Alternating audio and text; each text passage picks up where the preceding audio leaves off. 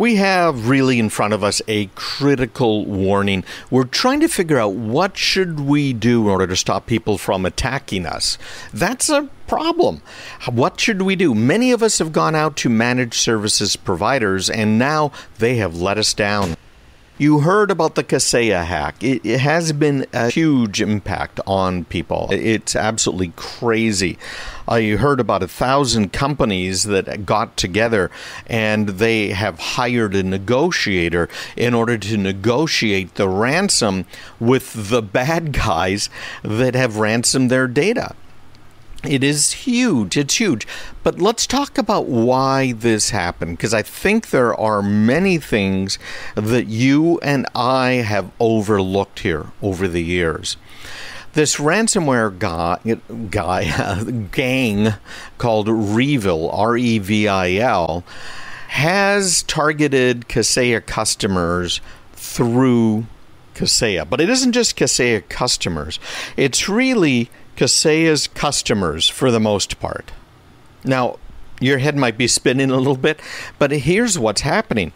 I'm a, a business owner. You guys know that, right? Now, let's say that I don't do cybersecurity for businesses. That's what I do. But let's say I make widgets.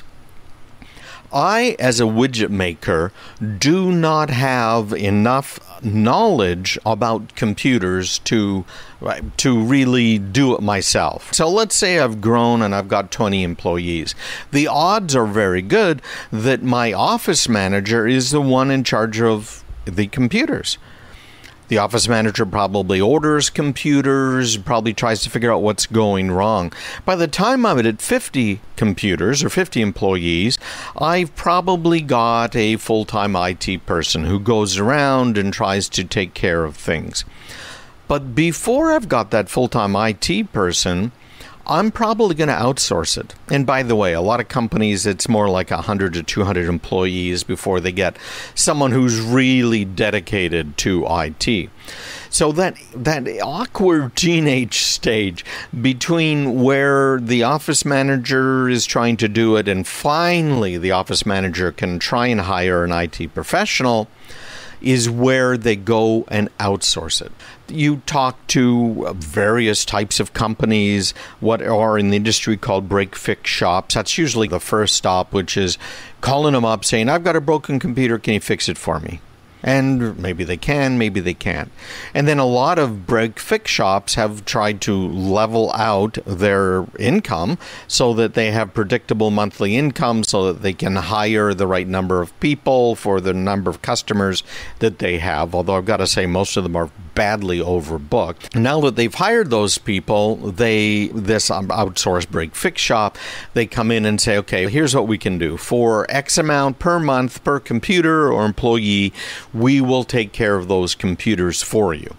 One of the things that they'll promise to do is that they will take care of your cybersecurity for you. Now, cybersecurity is frankly a specialty. It is not something that everybody can do because even if you're using some of the best stuff in the world, like what we do, we have Cisco hardware, we have Cisco software that we run, advanced malware protection. So that's the best, the top of the line. Most smaller businesses aren't going to want to pay for it, uh, even though they might be able to afford it. Push those people out right now because we're talking about you, we're talking about a smaller business.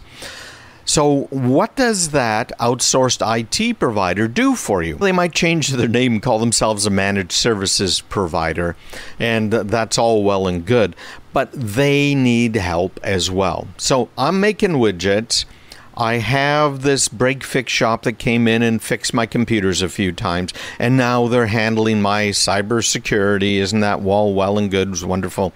So now they're handling supposedly my cybersecurity, but they know they can't do it themselves, and it would be too expensive to do it because they went cheap. You bought the least expensive option or close to least expensive option. So, and by the way, cheap in this case means that it's under $150 per person slash workstation per month. That's what it costs to get this stuff done. So you might be paying 25 or maybe even $50. They can't do it for that. So what do they do? They go to a company like Kaseya. Now, they also have some others. They have what are called RMMs that keep track of some basic stuff for you. But they go to Kaseya and say, okay, Kaseya, we want you to monitor the computers, keep them up to date, etc. for us. Now, did I, the widget manufacturer, go ahead and hire Kaseya to take care of stuff? Did Kaseya even do it themselves or did they outsource it? Do I even know that Kaseya exists? Because it's really Kaseya that is managing my computers, that's doing, that has a software that's doing the upgrades on my computers, etc. This is a real problem because the widget maker, no, I didn't hire Kaseya, I didn't even know they existed. I trusted my local guy. Your local guy is not taking care of your cybersecurity, almost completely guaranteed. There's very few companies like mine out there that we actually do it ourselves because we have looked at Kaseya. We've looked at all of these platforms, and every last one of them has had major problems. So here comes Kaseya with over 100,000 customers that gets hacked and distributes the hack to all of its customers that are running some of these on premise devices that are trying to manage the networks for not Kaseya's clients, but for Kaseya's clients' clients. Okay, do you see how this is a level of indirection? You see how this is going to affect you? This is a huge problem. And Kaseya, not only have we warned some of these companies like Kaseya about major design flaws in their software, but Kaseya's own engineers, apparently about three years ago, warned Kaseya about major design flaws in the software that they were using. So they knew about this. They were warned months, if not years, in advance about it. So what does Kaseya do? They're concerned about profit and features, so they just keep adding features as alleged by their former employees instead of fixing the security problems because it would be too hard to fix, take too long, cost too much, and it isn't going to increase our revenue. Are you sitting down? Can you believe this is one of the major operators out there? Major operators that is behind your managed services provider and your break fix shop. That's who's doing it out there. So there are probably far more than this thousand Kaseya clients that have gathered together to try and negotiate the ransom.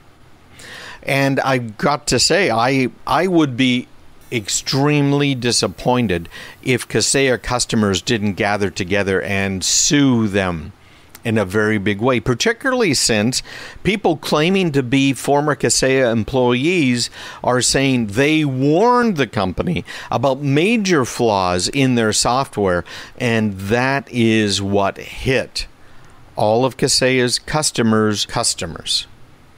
This is incredible here. This is a much different style of relationship that uh, companies have typically right? Yeah, okay. Law firms, they'll outsource stuff, right? So let's say there's some maritime law. They'll go to a maritime law firm, they'll outsource it.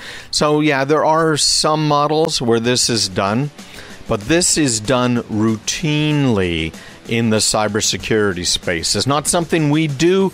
We stuck our toe, toes into that pond and we didn't like it. We didn't want our customers to be hurt by this sort of thing. But, anyways, there you have it. Okay? There you have it. All about profit and not about you. And by the way, it's also about how much you're willing to pay.